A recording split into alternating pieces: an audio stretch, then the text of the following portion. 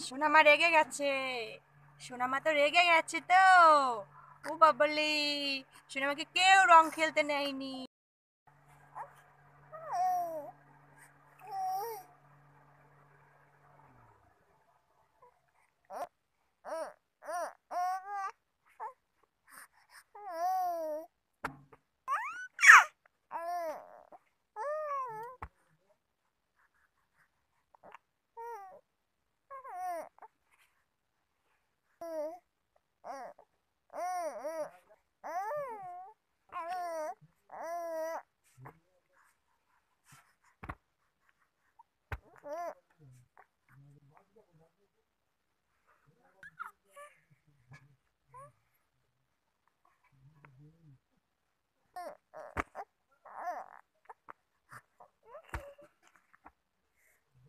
খুব রেগে গেছে সোনামাটা খুব রেগে গেছে গো, ওর বাবা আমার সোনামাটাকে কেউ রং খেলতে নেয়নি।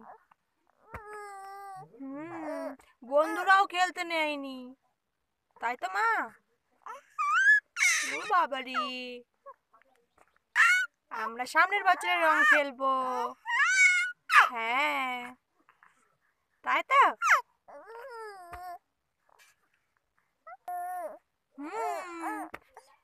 সোনামা আমার সোনা মায়ের তো এই প্রথম রং খেলা। তাই না? হ্যাঁ কিন্তু দেশের যা পরিস্থিতি, এবছর আর রং খেলতে হবে না মা।